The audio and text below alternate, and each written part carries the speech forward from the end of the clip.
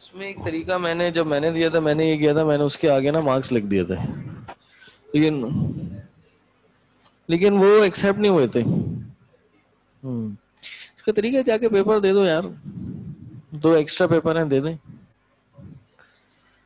जो भी आ, उसके होते हैं इख्तियारी मजामी होते हैं ये उनके एक्सेप्शन के लिए होता है ना।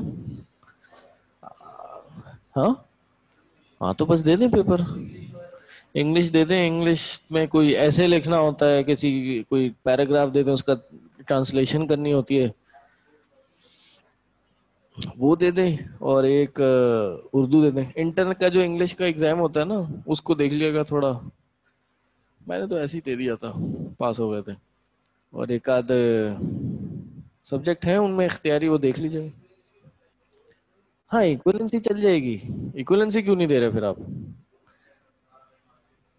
नहीं नहीं, आप इक्वलेंसी दे दें, फिर चल जाएगी।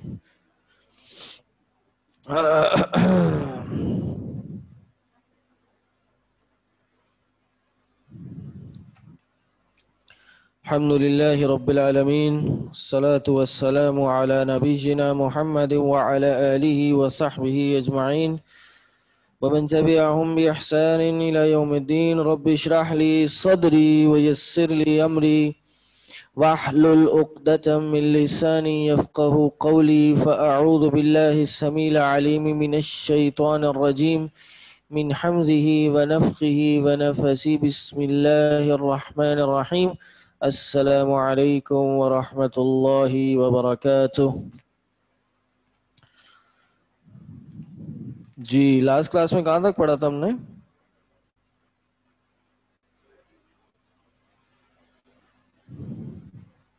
थर्टी फोर नहीं नहीं आगे बढ़ लिया था हमने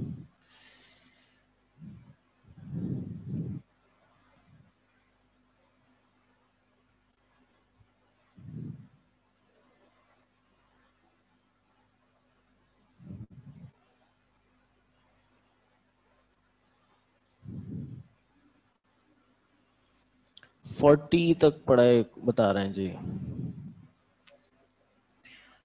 फोर्टी वन चल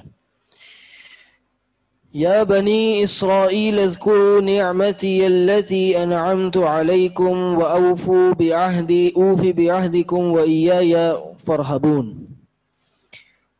पहले यहाँ पर खिताब जो था, या अयुहन्नास कह के हो रहा था। लोगों को या अयुहन्नास कह के अल्लाह तबारक व खिताब कर रहे थे। और उसके हवाले से जो भी मसाइल थे वो बता रहे थे। अब बनी इसराइल को ख़ास करके मुखातब किया है। बनी इसराइल कौन है? मैंने बताया था, याकूब सलाम की औलाद। इसराइल लक़ब है किसका? याकूब सलाम का।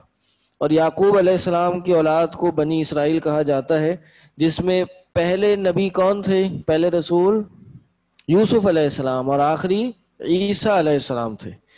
तो उनको उनकी नेमतों का ज़िक्र दिलाया जा रहा है, जो नबी वसल्लम के ज़माने में बनी इसराइल में मौजूद थे, उनको दिलाया जा रहा है। उनको क्यों दिलाया जा रहा है?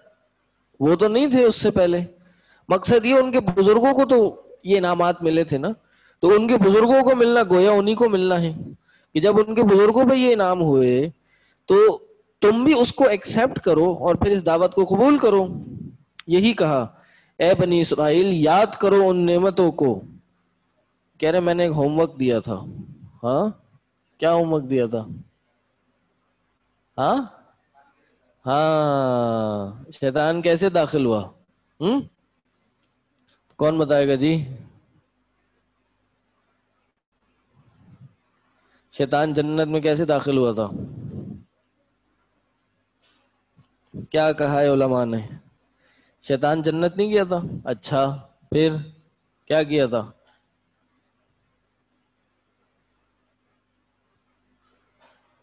दिल में वसवसा डाला था। जी, ये भी एक कॉल है, बिल्कुल, ऐसा ही है, दिल में वसवसा डाला था। और क्या किसी ने रिसर्च की? जी। रूप चेंज करके गया था। नहीं, ये तो साबित नहीं है। वो दिखाई नहीं हुआ। दखल नहीं हुआ, दाखिल नहीं हुआ। कोई वजाहत नहीं मिलती। जी, ऐसे ये वजाहत तो नहीं मिलती। सिर्फ़ उलमा ने इसमें कुछ बातें की हैं। और यही है कि वो वसवसा डाला था। फिर यही कि कुछ अरसे के लिए इसको दाखिल कर दिया गया था या इजाज़त मिल गई थी। बहरहाल ये सब बातें हैं। इनमें बहुत ज़्यादा हमें पढ़ने की ज़रूरत नहीं है। ये जो बात है कि जी वो सांप बन के दाखिल हुआ था, ये बातें हमें तो नहीं मिलती कुरान हदीस में। अल्लाह आलम। तो यहाँ बनी इसराइल की नेमतों को उनको याद दिलाया जा रहा है कि जब तुम पे इतनी नेमत और इनामात हुए थे, वैया या फरहबून तो बस तुम हमसे क्यों नहीं डरते? वह आमिनो बिमा अनजल तुम मुसद्दिकल लिमा माकुम, बस तुम ईमान ले आओ किस चीज़ पर? लिमा अनजल तू जो मैंने नाजिल किया है, सच तस्दीक करने वाला है उस चीज़ की जो तुम्हारे पास और तुम्हारे पास क्या है? तौरात है। वला तकून अव्वल काफिरिम भी और और तुम पहले काफिर ना बन जाना। हम्म? क्या मतलब पहले काफिर ना बन जाना? हम्म।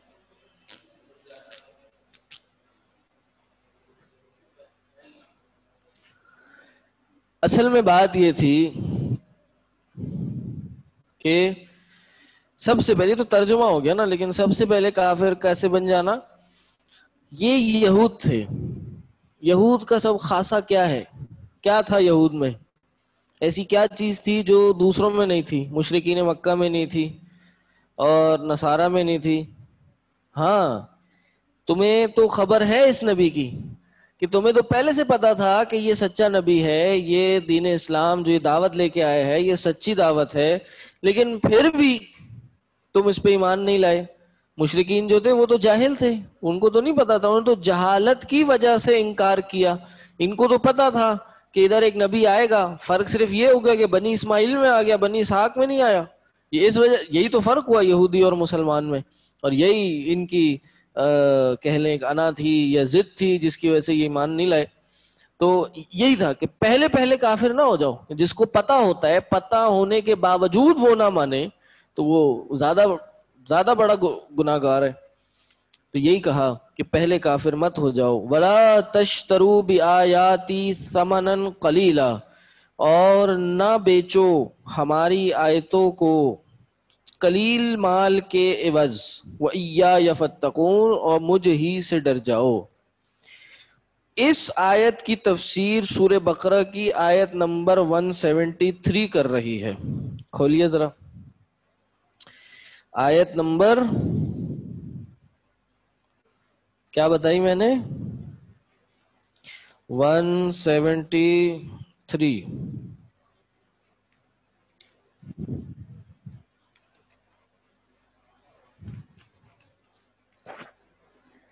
173 पे क्या है?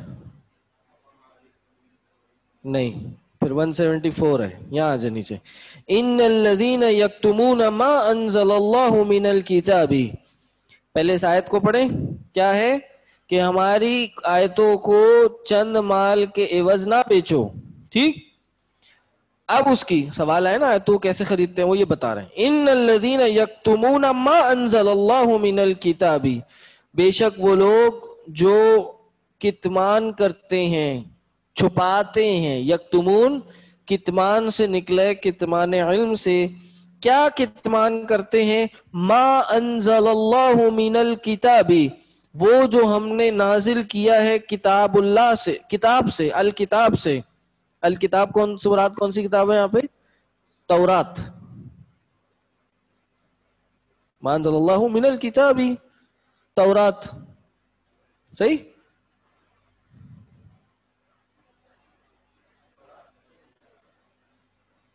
ये मिन मिन से नहीं है, ये मिन बयानिया है, बयान के लिए।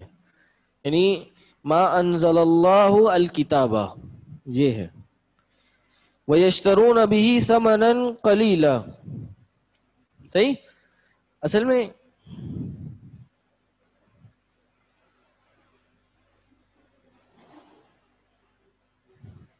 बहरल ये वो तो नहीं है जो आप कह रहे हैं लोहे महफूज वाली बात तो जरा नहीं है। तर्जुमा यही है कि जो लोग किताब किताबुल्लाह को छुपाते हैं अब या तो उससे मुराद तोहरात है या कुरान है। सही है, है किताबुल्लाह सही? वयशतरून भी समन कलीला और उसको बेच देते हैं चंद माल के एवज। सही?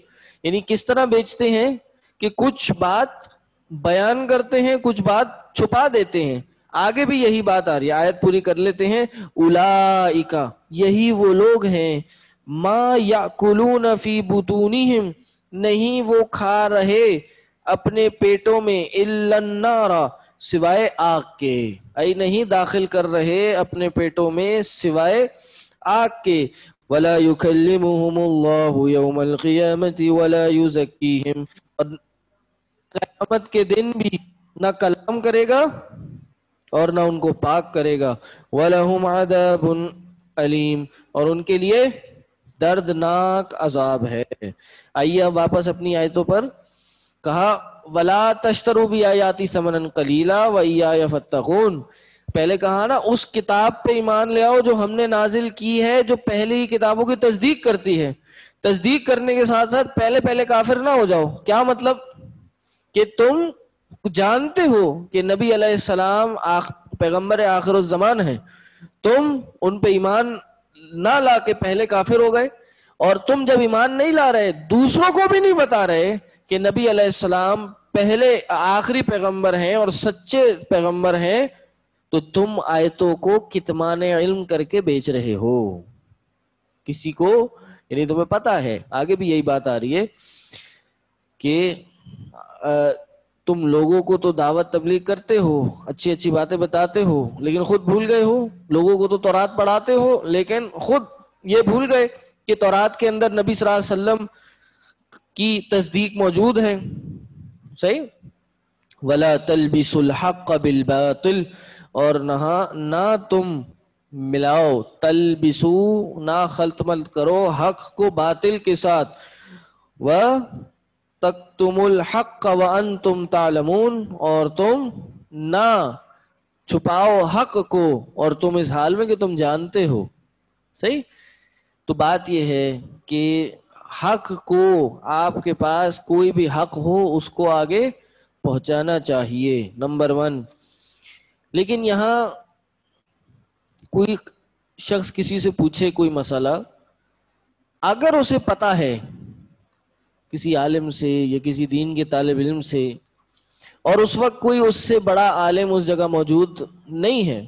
और उसको वो मसला पता है और कोई पूछ रहे और फिर वो ना बताए तो ये कितमान इल्म है। ये इल्म को छुपाना है। ये फिर इस आयत की जद में आ सकता है। लेकिन अगर उससे बड़ा आलिम मौजूद हो तो वो क्या कहे? कि आप उससे जाके पूछिए। फर्द गुरु अहल अहल ज़िक्र कुन तुम लामून अहले ज़िक्र से जाके पूछो, अगर तुम नहीं जानते, और अगर जानते हो और तुमसे आलम मौजूद है तो सलफ का और सहाबा का ये तरीका है कि जो आलम होता है, ज़्यादा जानता है, उसकी तरफ़ रुजू कराया जाता है। एक तो ये मसला। दूसरा मसला, क्या कुरान पढ़ाने की फ़ीस ली जा सकती है? हाँ? वला तश्तरू बियाती समनन कलीला। हाँ जी क्या फैसला है?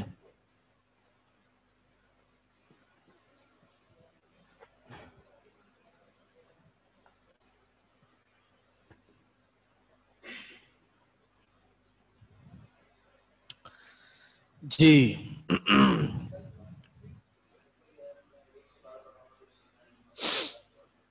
हम्म। जी। If can not be only source of income बकरियाँ ली थी। जी, बहुत से उलमा इसमें इख्तलाफ राय है उलमा का, और कुछ उलमा ये कहते हैं नहीं ले सकते। वो कहते हैं कि जो कुरान पढ़ाने की जो फ़ीस लेना, दम वो लेना उजरत लेना, कुरान पढ़ाने की उजरत लेना के जो दलाइल मिलते हैं ना, वो दम करने के हैं। जैसे उन्होंने कहा, जी, बकरियाँ ली थी। तो एक साहबी गए थे, उन्होंने सूर्य फातिहा पढ़ के एक साहबी पे, एक शख्स पे दम कर दिया था। तो उन्होंने उसके अवज बकरियाँ ली थी। फिर नबी वसल्लम के पास आए, नबी वसल्लम ने भी क्या कहा? मुझे भी उसका हिस्सा दो। ये मैंने सूर्य फातिहा की शुरू में हदीसें पढ़ाई थी। तो वो कहते हैं, जी, दम के लिए किया जा सकता है। तो हम ये कहते हैं और दीगर उलमा ये कहते हैं कि दम के लिए भी लिया जा सकता है और कुरान के लिए, पढ़ाने के लिए भी लिए जा सकते हैं पैसे। किस तरह? अल्लाह के नबी वसल्लम, दलील क्या है इसकी? दलील ये है कि अल्लाह के नबी वसल्लम की दो अहदीस। नंबर वन, एक तो यही हदीस है कि सबसे बेहतरीन अजर जो तुम लेते हो, वो कुरान की तालीम पे लेते हो। सबसे बेहतरीन जो उजरत लेते हो, वो तुम क्या लेते हो?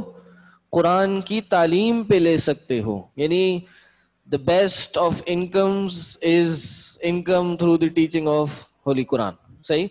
तो इस पे उलमा कहते हैं कि ये दम वाली बात है। लेकिन जो दूसरे उलमा कहते हैं ये कुरान पढ़ाने की फ़ीस ले सकते हैं या दीनी उलूम पढ़ाने की फ़ीस ले सकते हैं, वो यही बात कहते हैं कि एक हदीस है, अल्लाह के नबी वसल्लम ने एक औरत की शादी एक मर्द के साथ कराई और हक मैर क्या ठहराया? कुरान को बनाया। तो कुरान की कोई वैल्यू है, कोई मॉनेटरी वैल्यू है उसको सिखाने की। ऑब्वियसली कुरान की तो नहीं है, लेकिन कुरान को सिखाने की उजरत ली जा सकती है और उस उजरत के इवज एक खातून का एक मर्द के साथ निकाह कर दिया गया था। इसलिए ये बात साबित भी है और यही बात सही मालूम होती है कि उलमा को भी तनख्वाह दी जा सकती है, उलमा तनख्वाह ले सकते हैं और कोर्सेज की फ़ीस ली जा सकती है। सही?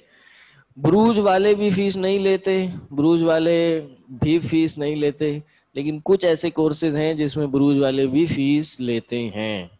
और हो सकता है अगले साल हम कोई एडमिशन, रजिस्ट्रेशन फ़ीस लगा दें, क्योंकि हमें बहुत सारी रजिस्ट्रेशन आती हैं वो हमें संभालना मुश्किल हो जाती हैं।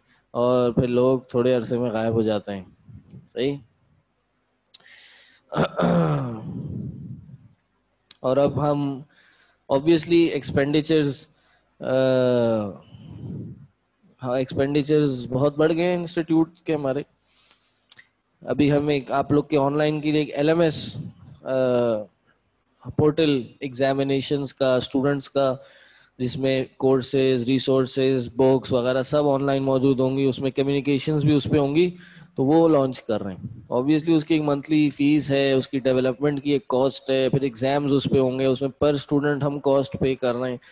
तो ऑब्वियसली डोनेशंस uh, तो अल्हम्दुलिल्लाह आती हैं हमारे पास लेकिन एक वक्त आ जाता है कि जी फ़ीस नाकाफी होती है। तो हम आप सबसे भी यही कहते हैं कि ऑब्वियसली हम यहाँ पे कोई फॉर प्रॉफिट ऑर्गेनाइजेशन तो है नहीं, दीन के लिए काम कर रहे हैं, एक चैरिटी कह लें या फिर एक फ़ी सबील्ला काम हो रहा है।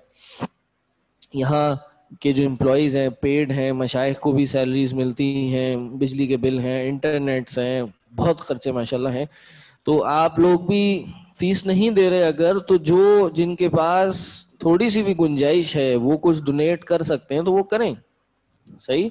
हमारे बैंक अकाउंट्स हमारी वेबसाइट पे मौजूद हैं। दो बैंक अकाउंट्स हैं। एक बैंक अल हबीब है, एक मीज़ान बैंक है। उधर आप अमाउंट सेंड कर सकते हैं, किसी के थ्रू कैश हमें भेज सकते हैं और हमें इन्फॉर्म कर सकते हैं ताकि हम उसको ऐड कर लें, जो जितना कर सके। ठीक? तो ये आपका एक हिस्सा डल जाएगा इस इस बड़े कार्य खैर में। बाकी अभी तक तो हमारी यही पॉलिसी है कि हम फ़ीस चार्ज इस कोर्स की, आलम कोर्स की हम चार्ज नहीं करते। डोनेशन के पैसे सदका भी होते हैं और जक़ात भी लगती है। सही? हमारे इंस्टीट्यूट को जक़ात भी एक्सेप्ट करता है हमारा इंस्टीट्यूट तो कुरान बढ़ाने की फ़ीस ली जा सकती है। सही? इन शॉर्ट आप सैलरी चार्ज कर सकते हैं फिक्स करके भी कर सकते हैं।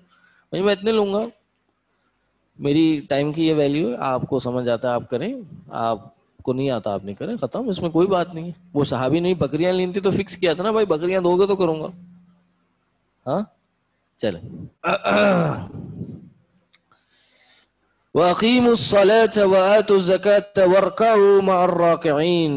इंडिया से पैसे कैसे सेंड करें? ये एक अच्छा सवाल है। इंडिया से अगर पैसे आपने सेंड करने हैं तो आप लोग हमसे कांटेक्ट कीजिए। हम फिर उसको कुछ किसी के अकाउंट इंडिया के अकाउंट में दिलवाएँगे। जिसका अकाउंट किसी और मुल्क में भी होगा, फिर वहाँ से हमारे अकाउंट में आएगा। हवाला होगा। सही? तो आप हमसे कांटेक्ट कीजिएगा, इंशाल्लाह उसको उस तरह कर लेंगे। यू नो ऑब्वियसली ये रेगुलर काम नहीं होता। रेगुलर नहीं हो सकता है काम। सही है? जिसकी, जो कर रहा है, उसके लिए भी मुश्किल काम है। हमने कुवैत में हमारे एक दोस्त हैं। स्टूडेंट ही हैं, उनके थ्रू हमने करवाए थे। एक दफ़ा कोई किसी ने हमें पैसे भेजे थे, उनके थ्रू हमने कराए थे। जी, चले। आए twenty six twenty seven thirty seven का एंड से ट्रांसलेशन बताना भूल गए थे प्लीज़ बता दें। अच्छा। ट्वेंटी सिक्स ट्वेंटी सेवन मेरा लैंड में देख लेंगे उसको।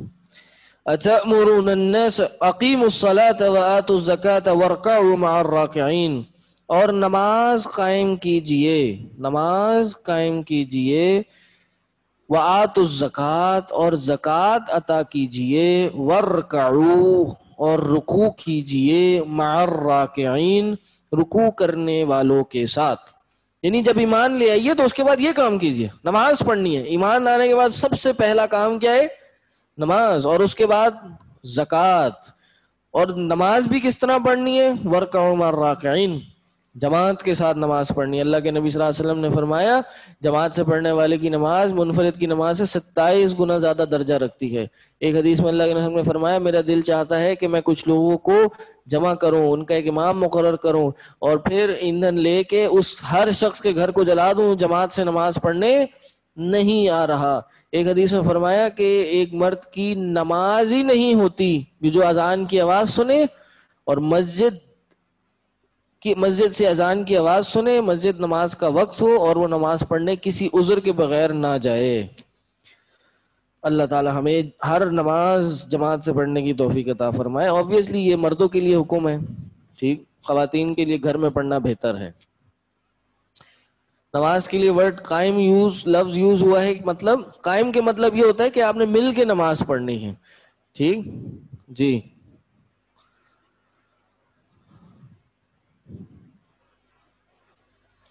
जी।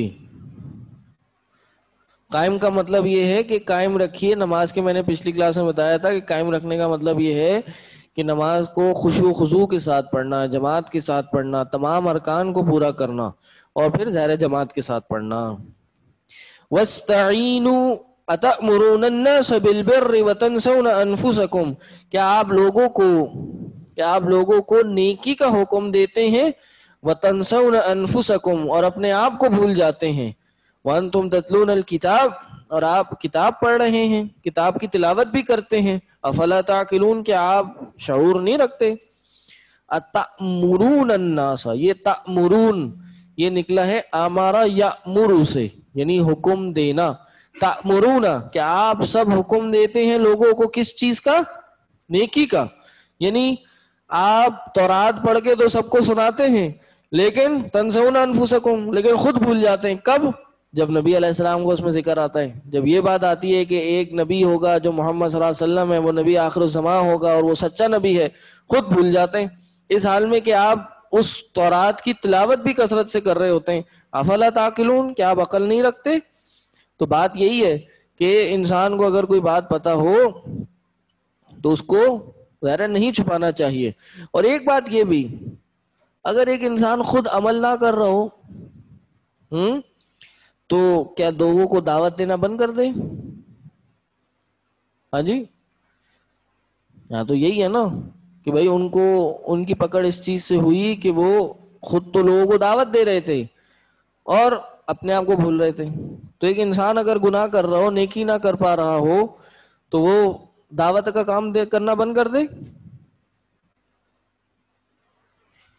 ये सिर्फ़ हुक्म बनी इसराइल के लिए नहीं, ये सबके लिए है। खिताब तो बनी इसराइल को है, लेकिन मफहम समझाने का मकसद दूसरों को है कि बनी इसराइल की ये बातें थी कि जो इन्होंने की, इसलिए उन पर हलाकत हुई। अब आप ये काम अपने हिसाब से कीजिए। वकीमुस्सलात वातुज़्ज़कात वरकौमर्राकीन तअमुरून अन्नास बिलबिर्रि व तंसौना अनफुसकुम व अंतुम ततलून किताब। जी? हाँ। अगर एक यहाँ पे देखें, अगर आप गौर करें कि जो बनी इसराइल को आर दिलाई जा रही है, वो किस चीज़ पे है? बनी इसराइल को आर दिलाई जा रही है अपने नफ्सों को भूलने पे। दावत और तबलीग करने पे नहीं दिलाई जा रही, अपने नफ्सों को भूलने पे दिलाई जा रही है। हर इंसान खता का पुतला है। हाँ? कुल्लू बनी आदम खत्ता व खैर खत्ताइन कि हर बनी आदम खताकार हैं और बेखताकारों में बेहतरीन कौन है कि जो तौबा करने वाले हैं? तो गलती गुनाह तो सबसे हो सकता है। बाज औकात नेकी के कामों में किसी से सुस्ती भी हो सकती है। लेकिन अगर वो इस पे दवाम करे, इसी पे ही बैठा रहे तो फिर ये पकड़ने वाली बात है या फिर ये इसकी पकड़ हो सकती है। लेकिन अगर एक इंसान कोशिश कर रहा है और उससे गुनाह हो जाता है तो इसका मतलब ये नहीं कि वो दूसरों को भी हक बात पहुंचाना बंद कर दे, दूसरों को भी दावत, अच्छी बात की तलकीन करना बंद कर दे। जी, कोई इशू है पीछे?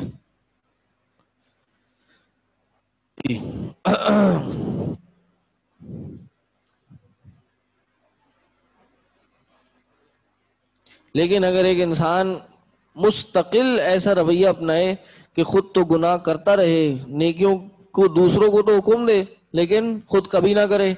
और गुनाह से तो लोगों को रोकता रहे और खुद भी मुस्तकिल लगा रहे उसमें। कोशिश भी ना करे बचने की। तो ये हदीस में आता है कि कयामत के दिन आग की कैंचियाँ बनाई जाएँगी।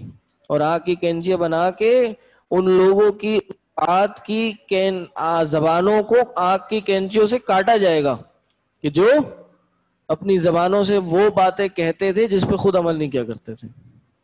इसी तरह एक हदीस में आता है, अल्लाह के नबी सल्लल्लाहु अलैहि वसल्लम ने फरमाया कि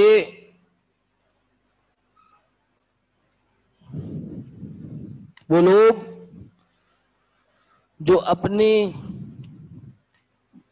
कहे पे, यानी दूसरों को तो दावत देते थे और खुद अमल नहीं करते थे, उनको जहन्नम में जब डाला जाएगा तो उस जहन्नम में उनकी अंतड़ियाँ बाहर आ जाएँगी और उनको, उनके इर्द गिर्द दिखना शुरू हो जाएँगे उनको।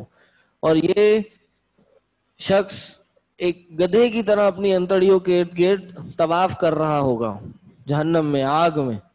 और फिर वो दूसरे जहन्नम ही उससे पूछेंगे कह रहे तुम तो वही शख्स हो कि जो हमें नेकी की तलकीन नहीं करते थे, तुम हमें गुनाह से नहीं रोकते थे, तुम भी यहाँ आ गए, मसलन।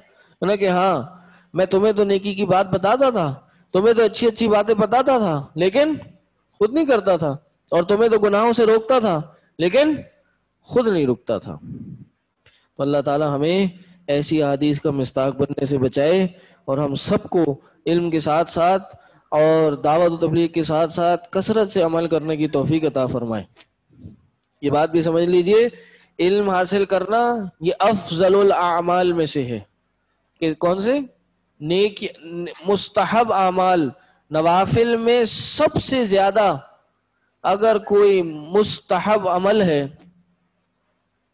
नवाफिल में अगर सबसे ज़्यादा कोई मुस्तहब अमल है तो वो इल्म हासिल करना है।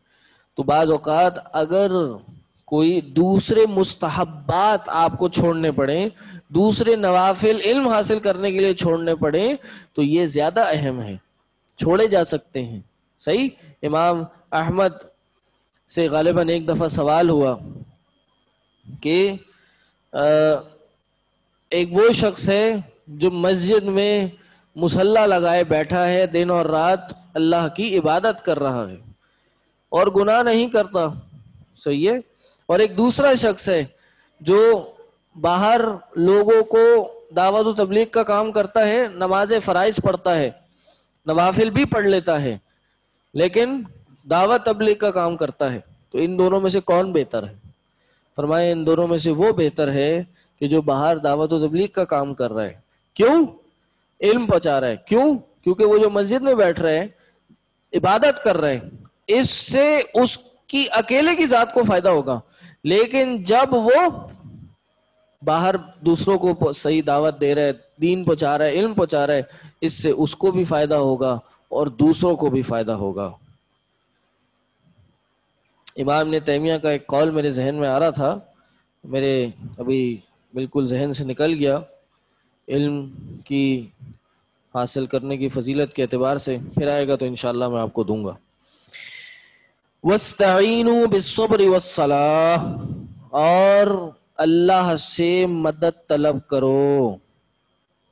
अल्लाह से मदद तलब करो। इस्तेआना, इसका रूट वर्ड क्या है? आउन क्या है? आउन और मैंने शायद पहले भी बताया था आपको कि जब किसी रूट वर्ड के शुरू में अलिफ सीन और ता लगा दिया जाए तो उसमें माना तलब का हो जाता है कि वस्ताइनु वस्ताइनु मदद तलब करो। किस चीज़ के साथ? अल्लाह से मदद तलब करो सबर के साथ। यानी सबर करो, इंतहा दर्जे का सबर करो और नमाज़ के साथ, दुआ के साथ। यानी दुआ भी सिखाई और दवा भी सिखाई। सही? ये दवा क्या है? बर्दाश्त करनी है, सबर करना है। और दुआ भी सिखा दी।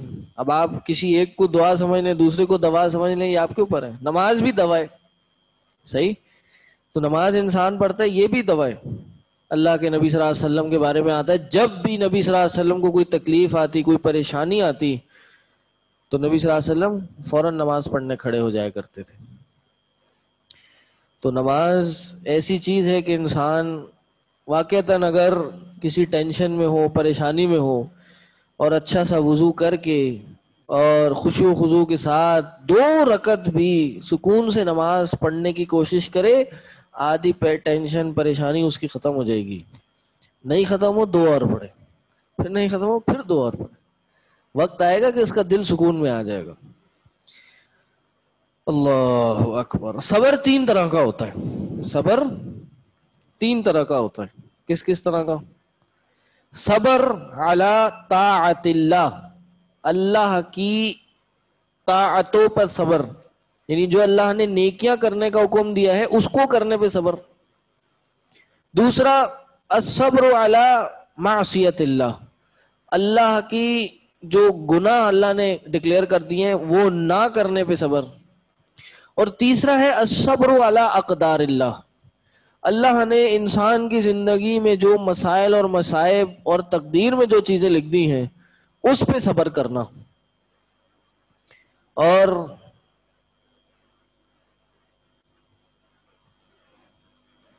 यानी इंसान सब्र वाला ताअतिल्ला का क्या मुराद है, क्या मकसद है? कि इंसान का नमाज़ पढ़ने का दिल कभी कभार हो जाता है, सुस्ती आ जाती है। नहीं चाह रहा।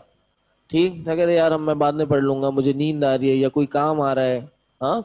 लेकिन उस वक्त इंसान अपने आप को पुश करता है, अपना काम छोड़ता है और नमाज़ पढ़ने जाता है या दीगर इबादत के काम करता है तो इसको क्या कहा जाता है? असब्रु अला ताअतिल्ला तो सबर की भी तीन किस्में हैं। तो अल्लाह के नबी वसल्लम ने क्या फरमाया? अल्लाह ताला ने क्या फरमाया कि इस्ताइनू मदद तलब करो सबर और सलाद के साथ। क्यों? व इन्नकबीरतन बेशक ये बहुत बड़ा काम है, बहुत मुश्किल काम है सबर करना और नमाज़ पढ़ना, ये बहुत मुश्किल काम है। किन लोगों के लिए? सिवाय उन लोगों के जो अल्लाह का डर खाते हैं। यानी पाबाज को पाबंदी से पढ़ना, नमाज़ को पाबंदी से पढ़ना और साथ में सबर भी करना, ये जो अल्लाह से डरते हैं, उनके लिए आसान है, दूसरों के लिए बड़ा मुश्किल है। और वो कौन है जो अल्लाह से डरते हैं?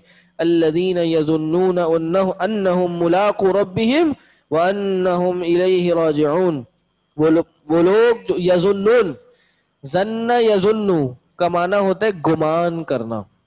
गुमान करने का क्या मतलब है? हाँ यानी उम्मीद करते हैं। उम्मीद तो नहीं कहेंगे कि ये आ, इल्म की कैटेगरीज में से एक कैटेगरी है। ठीक वो लोग जो गुमान करते हैं, गुमान का इंग्लिश में क्या वर्ड हो सकता है सही? गुमान करते हैं। गुमान का क्या वर्ड है? तो मेरा गुमान है। अज्यूम होप थिंक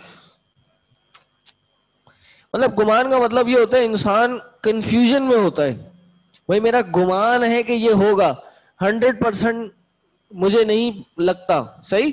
तो जन्ना या जुन्नू का असल मतलब ये होता है।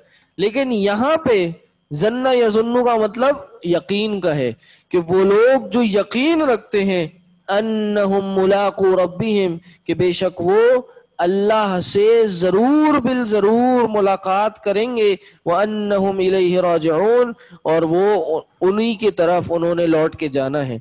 यानी सबर कर अल्लाह से मदद तलब करना, सबर और सलाद के साथ, ये बहुत आसान है अल्लाह से डरने वालों के लिए। और वो अल्लाह से डरने वाले कौन हैं? जिनका पुख्ता यकीन है कि वाकता उन्होंने अल्लाह के पास जाना है और अल्लाह से मिलना है। मुलाकू, ये असल में था मुलाकूना। क्या था? असल में था मुलाकूना। लेकिन चूँकि आगे रब भी हिम आ गया और ये रब से मुलाकात का तर्जुमा बनने लगा। मुजाफ मुजाफिल हो गया तो इसमें नून गिर जाता है, ठीक? इसमें नून गिर जाता है। तो यहाँ ये बात हमें पता चली, इस पूरे रुकू में बड़ी इख्तसार के साथ बनी इसराइल को ये बात बताई गई कि भाई, आप अल्लाह की नेमतों को याद कीजिए और इस दीन पर, कुरान पर, अल्लाह के रसूल पर ईमान ले आइए। हम्म? अब आगे आने वाली आयतों में फिर उनको याद दिलाया जा रहा है और उनकी कुछ फजीलत भी बताई जा रही है और तफसीली एतबार, तफसील के साथ, पॉइंट पॉइंट करके उनको, तफसील के साथ उनकी नेमतों को याद दिलाया जा रहा है। आगे क्या फरमाया? या बनी इसराइल अज़कुरु निअमती अल्लती अनअमतु अलैकुम व अन्नी फद्दलतुकुम अलल आलमीन। ए बनी इसराइल, उज़कुरु का मतलब याद याद करो अल्लती, मेरी उन नेमतों को, मेरी उस नेमत को अनआम तो अलैकुम, जो मैंने इनाम की तुम पर व तुकुम आलमीन और हाँ बेशक मैंने तुम्हें तमाम जहानों पर फजीलत बख्शी। मैंने तुम्हें तमाम जहानों पर फजीलत बख्शी। बनी इसराइल को तमाम जहानों पे फजीलत बख्शी तो क्या उम्मत मोहम्मदिया पर भी फजीलत बख्शी है? हाँ उस वक्त तक वो सबसे अफजल कौम थी, सबसे अफजल एक ग्रोह या जमात थी। लेकिन जब नबी सलाम की, नबी वसल्लम आ गए तो नबी वसल्लम की जो उम्मत थी, वो अफजल आलमीन हो गई। क्या दलील है इसकी? कुरान में अल्लाह तबारक वाली ने फरमाया कुन तुम खैर उम्मत उखरिजत लिन्नास, तुम बेहतरीन उम्मत हो जो लोगों के लिए निकाली गई हो। इसी तरह अल्लाह के नबी वसल्लम ने फरमाया था खैरन्नासी करनी, बेहतरीन जमात मेरी जमात है।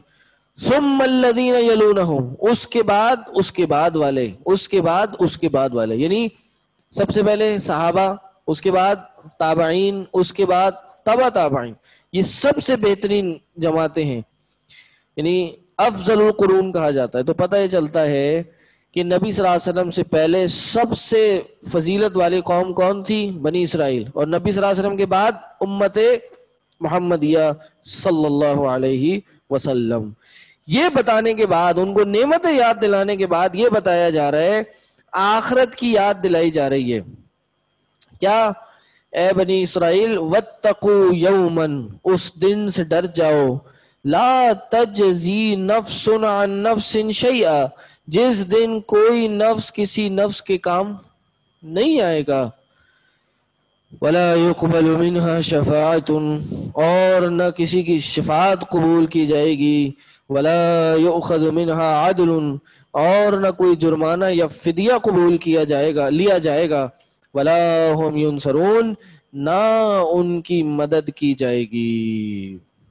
यानी यह बनी इसराइल, तुम अल्लाह से कयामत के दिन के बारे में डर जाओ। अदल फिदिया, जुर्माना। जब किसी को कैद कर लिया जाता है तो उसको छुड़वाने की तीन सूरतें होती हैं। नंबर वन या तो ज़बरदस्ती जाके उसको छुड़वा लें, हमला करें, कैद से छुड़वा लें। दूसरा, सिफारिश।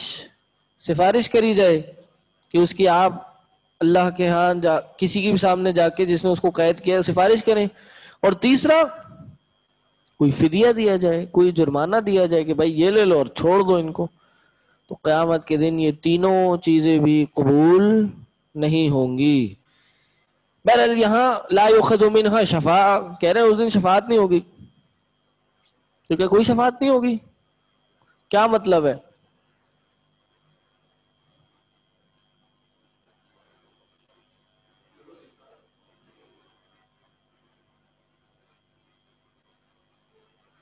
जी।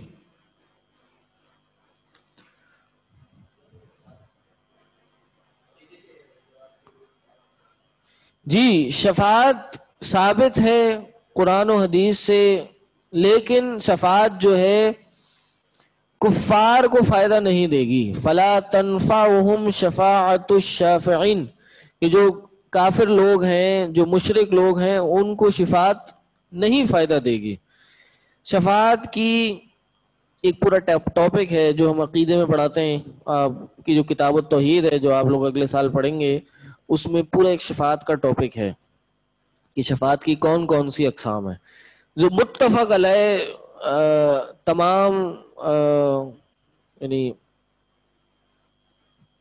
सब के हाँ सब उसको मानते हैं, शफात को वो है शफात उज़मा नबी वसल्लम का शिफात करना क़यामत के दिन किस चीज़ के लिए? हिसाब किताब के आगाज़ के लिए। वो पूरी एक तवील हदीस है कि नबी वसल्लम के पास लोग आएँगे, कहेंगे कि आप नहीं देख रहे कि हम किस हाल में हैं, आप क्यों नहीं अल्लाह से सिफारिश करते? तो वो सबसे पहले एक नबी के पास जाएँगे, आदम अलैहिस्सलाम के पास जाएँगे, फिर इब्राहिम, फिर ईसा, मूसा, फिर आखिर में ईसा अलैहिस्सलाम कहेंगे कि तुम मोहम्मद वसल्लम के पास जाओ, आज वही शिफात करेंगे। तो फिर अल्लाह के नबी सलाम के पास जाएँगे, नबी वसल्लम अल्लाह के पास सजदा रेज हो जाएँगे, एक तवील मुद्दत गुजरेगी, सजदे में गिरे रहेंगे। फिर जब अल्लाह नबी वसल्लम को देखेगा तो फिर उनको कहेगा कि अपना सर उठाइए, सिफारिश कीजिए, आपकी सिफारिश कबूल की जाएगी, सवाल कीजिए, आपका सवाल पूरा किया जाएगा। तो फिर नबी वसल्लम कहेंगे, सिफारिश करेंगे कि सवाल जवाब का आगाज़ किया जाए, हिसाब किताब का आगाज़ किया जाए तो फिर अल्लाह तबारक व ताली अपने सवाल जवाब का, हिसाब किताब का सिलसिला शुरू करेगा। तो ये सिफारिशें होंगी, लेकिन वो वाली सिफारिशें जो हैं कि जो लोगों को, फिर ये भी सिफारिश है कि जो जहन्नमी होंगे, कुछ की सिफातें उनको जहन्नम से निकाल के जन्नत में डालेंगी। फिर एक सिफारिश होगी कि जो जहन्नम में उनका अजाब कम करेंगी। फिर कुछ सिफारिशें होंगी कि जो जन्नत में जाना होगा, सिफारिश होगी, फिर जन्नत में जाएँगे। कुछ सिफारिशात होंगी कि जिनमें जन्नत में जाने के बाद उनके दर्जात बुलंद किए जाएँगे। तो ये सारी सिफारिशें होंगी। मुतलकन नहीं हो, मुतलकन नफी नहीं है यहाँ पे। सिर्फ़ उनके लिए कि जो जिन्होंने हाँ? जो कुफ़ार हैं, जिन्होंने तोहद पे ईमान, अमल नहीं किया, अल्लाह पे ईमान नहीं लाए, उनकी से, उनके लिए सिफारिश कोई कबूल नहीं होगी। तो सिफारिश कबूल होने की दो शरात हैं हाँ एक तो यही है कि जो सिफारिश करने वाला है और सिफारिश जिसके लिए की जा रही है, उससे अल्लाह राज़ी हो। और उससे अल्लाह राज़ी हो से मुराद क्या है? कि वो तोहीद पे हो। सही? चले जी। वज़ नजना को मिन फ़िरौन अब ये मैंने कहा था ना कि तफसील के साथ एक एक करके उनको, उनकी नेमतों का ज़िक्र दिलाया, याद दिलाया जा रहा है। और वो यही है, कहा वज़ नजना को मिन आल फ़िरौन यसूमूनकुम सूअलअज़ाबी युज़ब्बिहून अबनाअकुम व यस्तहयून निसाअकुम। और याद करो उस वक्त को कि जब हमने तुम्हें निजात दी थी किन को बनी इसराइल को निजात दी थी, किससे? आले फिराउन से। क्यों? आले फिरौन, यानी फिरौन के इत्तिबा करने वाले फॉलोअर्स आदलुन ला यसुमून कुमसुअल अजाब, के जो उन्हें दर्दनाक अजाब दिया करते थे या चखाया करते थे युजब अबनाकुम और बड़ी दर बेदर्दी से उनके बच्चों को जिबा किया करते थे। वस्तून निसाकुम, और उनकी औरतों को छोड़ दिया करते थे। वफीज आलिकुम बलाउम। बस बेशक इसमें बहुत बड़ी या फिर एक आजमाइश है तुम्हारे रब के तरफ़ से। बलाउम रबिकुम अजीम। एक अजीम आजमाइश है जो तुम्हारे रब की तरफ़ से है। असल में हुआ ये था, अल्लाह अकबर। हुआ ये था कि उस ज़माने में ये फ़िरौनियों के जो फॉलोअर्स थे, फ़िरौन के, उनको पता चल गया था कि इब्राहिम अलैहिस्सलाम से अल्लाह ने वादा किया है कि उनकी कौम में से अंबिया आएँगे और बादशाह पैदा होंगे, ठीक? तो इन्होंने देखा कि अगर ये इनकी कौम में से आ गए तो हमारा, हमारी पावर कम हो जाएगी। तो इन्होंने ये सोचा कि हम सबको कत्ल करते हैं। बड़े बुज़ुर्ग तो आहिस्ता आहिस्ता मर रहे हैं। तो हम छोटों को कत्ल करना शुरू कर देते हैं। फिर यही हुआ कि इन्होंने अपने बंदे तैयार किए। वो रास्तों में, गलियों में छुरियाँ लेके, तलवारें लेके घूमते थे और जहाँ कोई नौमौलूद बच्चा दिखा, उन्होंने उसको कत्ल कर दिया। कि जी, जड़ी कट जाएगी, ना बड़ा होगा, ना जी, उनके लिए भी ऐसा ही था। तो थोड़ा अरसा ये चला। फिर ये हुआ कि उन्होंने देखा कि अगर हम तो सबको ही कत्ल कर देंगे और जब सबको कत्ल करेंगे तो हमारे गुलाम कौन बनेंगे? हमारी खिदमत कौन करेंगे? हम जुम किसमें करेंगे? सही बात। और हम इतनी जो मेहनत वाला काम है, फिर हमें खुद करना पड़ेगा। तूने कहा, ऐसा नहीं करो। ऐसा करो कि एक साल मारो, एक साल ज़िंदा रखो। तो हारून अलैहिस्सलाम जब पैदा होने वाले थे तो वो साल था कि जिसमें एक साल ज़िंदा रखने का हुक्म था। तो इसलिए हारून अलैहिस्सलाम बड़ी आ, उनकी वालदा ने मूसा अलैहिस्सलाम की वालदा ने जब हारून अलैहिस्सलाम को जन्म दिया तो क्या हुआ कि वो बड़ी बेफिक्री से और बग़ैर खौफ के उनको पैदा किया। लेकिन जब मूसा अलैहिस्सलाम का वक्त आया तो उसके बाद की कहानी आगे फिर आएगी। तो यानी उनके साथ फिर वो, जो भी मामला हुआ, वो हुआ। ये बात मशहूर है, ये बात मशहूर है कि फिरौन को एक ख्वाब आया था। सुनिए ये बात आप लोगों ने? हाँ? कि फिरौन को ख्वाब आया था कि बनी इसराइल का कोई बच्चा उनके तखत पे आके बैठ गया है। और उनको खत्म कर रहा है। इसलिए उन्होंने सबको गुम दिया कि भाई सब बच्चों को कत्ल कर दो, सबको मारना शुरू कर दो। लेकिन पहली वाली बात जो है, इस ये बात की जो तफसीर है, ये हज़रत इबन अब्बास रज़ी अल्लाह की तरफ़ सही सनद से मिलती है हमें तफसीर तबरी में। लेकिन इसकी कोई सनद नहीं मिलती कि ख्वाब आया था। हाँ उनके, उनमें मशहूर था कि इब्राहिम से अल्लाह ताला ने वादा लिया है। तो उन्हीं बनी इसराइल की तरफ़ से ये फिरौनियों ने बात सुनी थी, यानी मुतबीन फिरौन। और दूसरी बात यह कि फिरौन को ख्वाब आया था, सही? तो पहली बात की तो सनद मिलती है, दूसरी की सनद नहीं मिलती। सनद क्या होती है?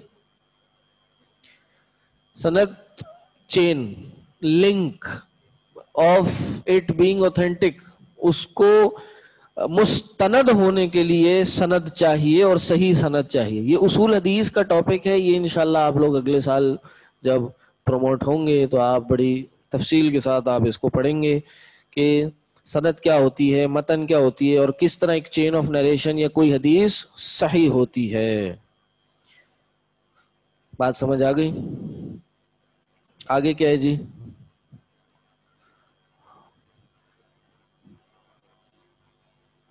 हाँ।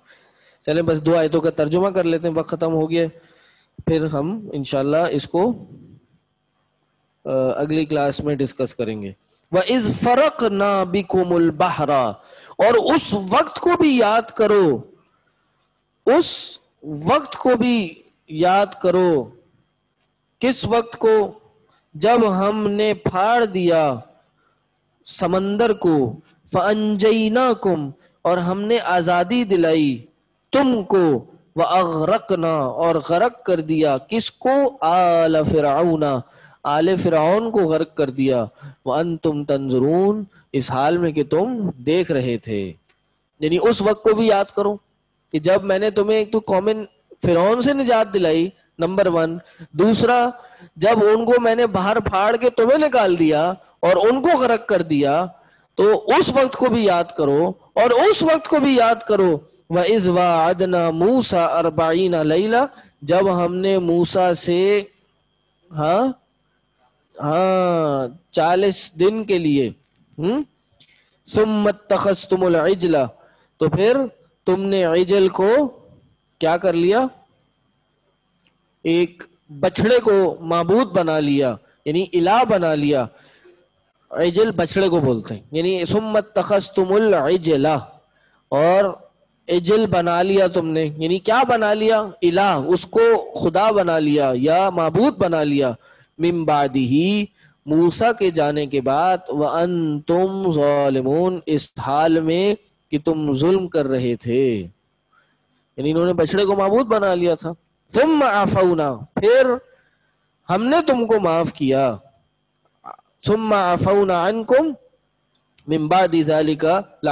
तशकुरून फिर हमने तुमको माफ़ किया इस बात के बाद शायद कि तुम शुक्र करो अल्लाह अकबर फिर आगे और एक चीज़ की याद दहानी कराई जा रही है नेमतों को याद दिलाया जा रहा है वही मूसल किताब फ़ुरक़ान अल्लाकुम और उस वक्त को भी याद करोगे जब ने मूसा को किताब और फुरकान यानी सही और हक और बातिल में फ़र्क करने वाली चीज़ अता की शायद कि तुम हिदायत पे आ जाओ।